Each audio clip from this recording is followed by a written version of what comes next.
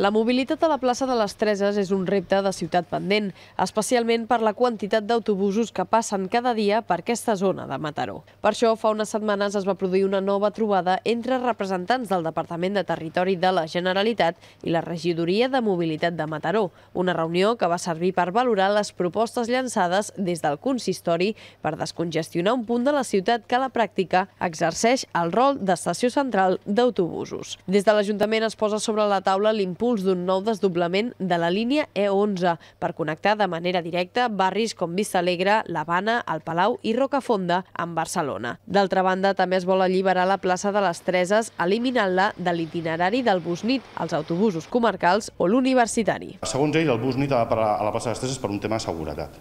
No sé en què es basen. El segon és que, segons ells, eh, les persones que utilitzen aquest bus interurbà des de la plaça de les Treses és imprescindible que estigui en aquest punt, eh, perquè els encastats, presumptament, eh, demanen que sigui en aquest punt.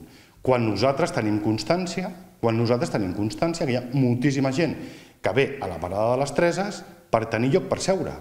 I se'ns posa amunt la taula la possibilitat, no la certesa, de que el bus universitari sí que pogués ser traslladat. Els autobusos interurbans gestionats per l'empresa Moventis no són els únics que circulen per la plaça de les Treses. També ho fa el Mataró Bus, una concessió la qual properament es licitarà. Tot i no especificar detalls, el que sí que s'ha revelat és que el nou contracte serà de curta durada. La idea és que finalitzi el 2028, any que també acaba la concessió dels autobusos interurbans. Estem a punt perdó, de licitar el nou contracte del Mataró Bus. Un contracte que serà curt en el temps.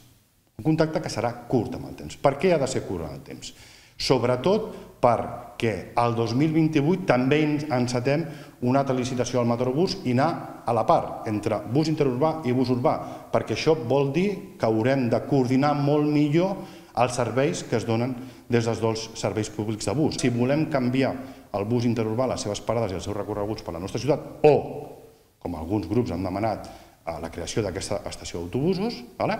això suposaria, evidentment, com us podeu imaginar, una alteració important a lo que és la línia del Matarobús a nivell urbà. La licitació del Matarobús només serà una de les peces que s'haurà d'encaixar en el nou pla de mobilitat que s'ha d'impulsar des de l'Ajuntament, un pla que tindrà com a punt calent la plaça de les Treses. Gomar detalla que es començarà a abordar el curs vinent i que ha de permetre definir com s'articula la convivència entre els autobusos, cotxes privats, serveis i persones que diàriament transiten aquesta zona.